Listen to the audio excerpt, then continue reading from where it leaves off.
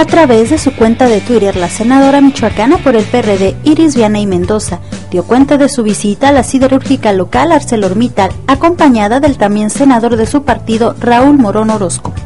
De acuerdo con el contenido de sus mensajes, la senadora Mendoza Mendoza indica que se encuentra en investigación de campo en Michoacán para conocer las ventajas y desventajas de la industria minera en México.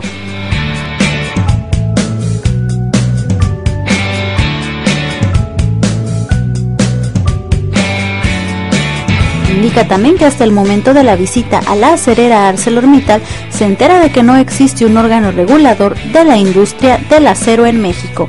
Al mismo tiempo, destaca que la industria nacional está en desventaja frente a la industria extranjera y alude al tema de la minera San Javier en San Luis Potosí.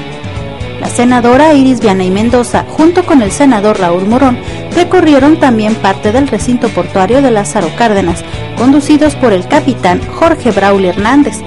La legisladora da cuenta también que ArcelorMittal ha extraído más de 100 millones de toneladas de hierro en Michoacán para la producción de acero, lo que es asimismo la principal consumidora de gas natural y electricidad del país. Los datos de la empresa minera en ArcelorMittal nos dicen que están generando 53 mil empleos directos y 550 mil empleos indirectos, indica en uno de sus tweets. Iris Mendoza concluyó asegurando que presumir el puerto más desarrollado del país no es suficiente, pues se vuelve necesario mejorar la calidad de vida. Violeta Chávez Morales para Noticieros Nuestra Visión.